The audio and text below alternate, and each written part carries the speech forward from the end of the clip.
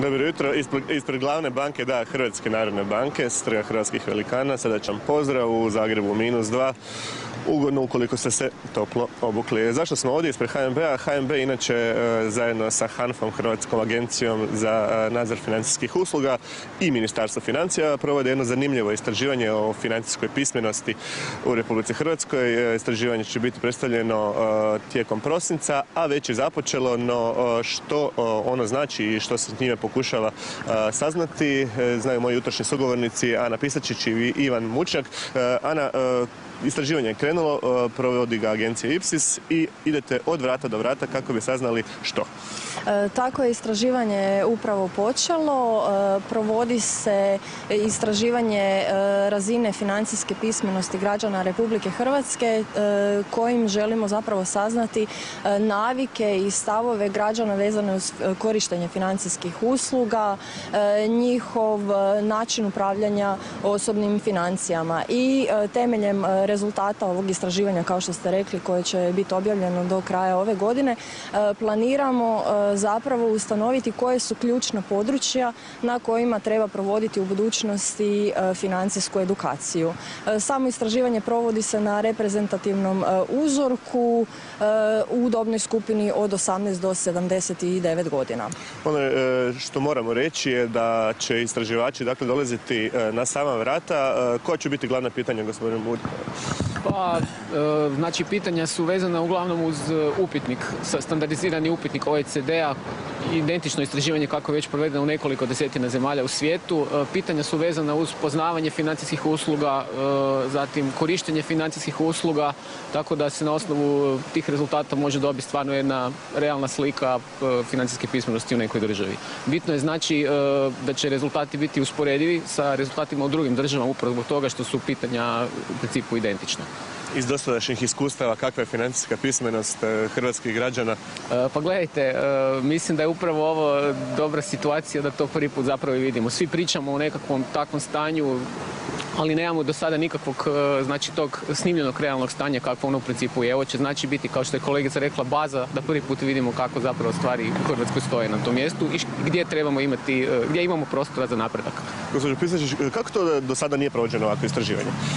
E, pa evo naprosto i u svijetu je ovo istraživanje tek započelo 2010. godine. Tada je provedeno e, u 14 zemalja, a od tada pa do danas je provedeno dodatno još u 30 zemalja. Tada 2010. godine bilo je riječ o prvom međunarodnom koordiniranom nacionalnom testiranju e, ovakvog karaktera po metodologiji organizacije za ekonomsku suradnju i razvoj, a Hrvatska se uključuje u drugo takvo koordinirano međunarodno testiranje. Tako da osim što ćemo imati priliku e, saznati gdje mi stojimo unutar naše zemlje sa našim zaista realnim financijskim znanjem i na kojim područjima trebamo e, dodatno raditi vezano uz financijsku edukaciju, imat ćemo mogućnost također i e, realno komparirati znanja građana Republike Hrvatske sa ostalim zemljama koje će se priključiti ili su se već priključile ovom istraživanju. Ok, još samo za kraj, još jednom dakle poziv svima da se ne plaše kada im e, ljudi iz agencije dođu na vrata. E, istraživanje će se vršiti u, na području cijele Republike Hrvatske. E, ono što ste mi kazali izvršit će se na uzorku od tisuću građana, ili tako? Tako je, minimalni iznos ispitanika je tisuću građana i u svakom slučaju željeli bismo pozvati sve građane da iskoriste ovu priliku jer zaista svaki odgovor će nam biti važan kako bi stvorili zaista realnu sliku vezano uz našu razinu financijske pismenosti i kažem na čemu točno trebamo raditi u budućnosti. Hvala vam lijepa, hvala mojim sugovornicima, od nas za sada toliko. Ne, nisam se odlučio cijepiti, mislim da ni neću, ali zato ima onih koji bi trebali i koji se cijepe već duži niz godina. No zašto se cijepiti e, i gdje se sve to može obaviti, zna moja jutrošnja sugovornica, doktorica Vesna Višekruna Vučina. Dobro vam jutro. Dobro jutro.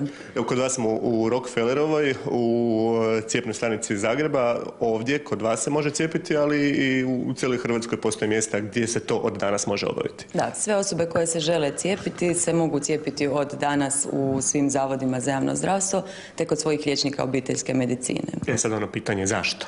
Zašto? Zašto? Da bi se zaštitili od gripe. Znači, najjednostavniji odgovor, jer cijepljenje je najučinkovitija preventivna mjera zaštite od gripe.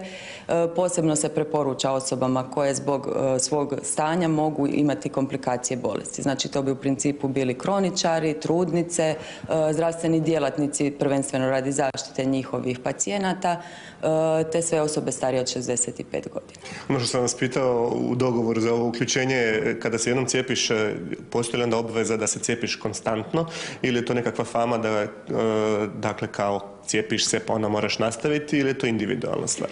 To je više onako kako se e, kroz razgovor e, izmjeni u stvari smisao poruke. E, znači cijepi se svake sezone zato što svake sezone mogu doći različiti tipovi, podtipovi virusa te se preporuča cijepljenje jer nije, do, nije dugotrajno. Ova zaštita traje 6 do 7 mjeseci, znači što je dovoljno za tu sezonu. Zato se preporuča cijepljenje svake godine. Ali naravno da ne postoji nešto ako ste postali, jednom se cijepili da ste postali ovisni o cijepljenju protiv gripe. Sad ste spomenuli tipove i vrste tipova. E, svake godine se daje dakle e, cjepivo za jedan tip za koji se pretpostavlja da će te godine biti e, u zraku, u cirkulaciji. Koji je tip ove godine odlučen, odnosno za koji ste se odlučili ove godine? Znači, tri tipa su uvijek u cijepivu, tri, tri tipa virusa gripe. Obično su to 2A i 1B.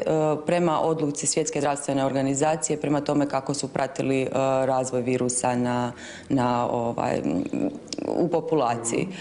Tako da ove godine kao slično i prošlogodišnjo imamo 2A i 1B tip koji se očekuju da bi, ne bi trebali odskakati ništa posebno od prethodnih sezona. E sad kako ja nisam dovoljno hrabar, imamo jednu gospođu koja je došla na redovito cijepljenje. Možete dakle postupiti po proceduri. A ja ću i gospođu pitati, dobro vam jutro, vi ste rekli ste mi 20 godina se dolazite cijepiti ovdje. Oko 20 godina. Zato jer sam bolesnik plućni, naime imam e, plućnu asmu, tako da onda doktor preporuča i ne usudim se zapravo ne cijepiti. Ali dosta ste odgovorni, rekli ste mi svake godine u ovo vrijeme uvijek prvi dan dođete. Da, jer me strah ovaj, da, da ne dobijem gripu i onda odgovornosti te ako se ne cijepi. Eto ono, sama protiv sebe. Ali nije strašno, ne boli, ali tako doktorica? Da, da. Doktorica ima i nježnu ruku, to. Da, i iglice su tanke i da Kada se sve mogu ljudi cijepiti? Dakle, danas je prvi dan. Danas započinje cijepljenje, obično očekujemo gripu tamo oko Božića, ali osobe se mogu cijepiti i kad gripa stigne. Znači, bez obzira što je već počeo cirkulirati virus, osobe se mogu cijepiti, ali uvijek je naravno bolje da se cijepe ranije, da se stvori zaštita i da budu mirni kada se virus pojavi u cirkulaciji. Evo, hvala vam lijepo. Dakle, rekli smo ovdje kod vas, kao referentnom centru, ali i diljem hrvatski ljudi već znaju. Liječnika obiteljske medicine, svi uglavnom znaju već gdje su se cijepili, ali uvijek mogu nazvati, raspitati se i dobit će sve informacije. Evo čuli smo e, Sanja Davore, imate li još kakvih potpitanja? Pa ognjen cijena, jel se plaća? Ono što vas nisam pitao, je Davor je e, postavio jedno logično pitanje, mm plaća li se cijepljenje protiv gripe? E, cijepljenje koje je nabavljeno za cijepljenje rizičnih skupina se ne naplaćuje. Znači, besplatno je za sve koji spadaju u kategoriju osoba koje su pod rizikom. Evo, ili e, odgovor zadovoljio tvoju e, potrebu za tim? za one druge koji nisu u rizičnim skupinama se plaća, mislim da je 60 ili 80 kuna, bar je tako bilo lani.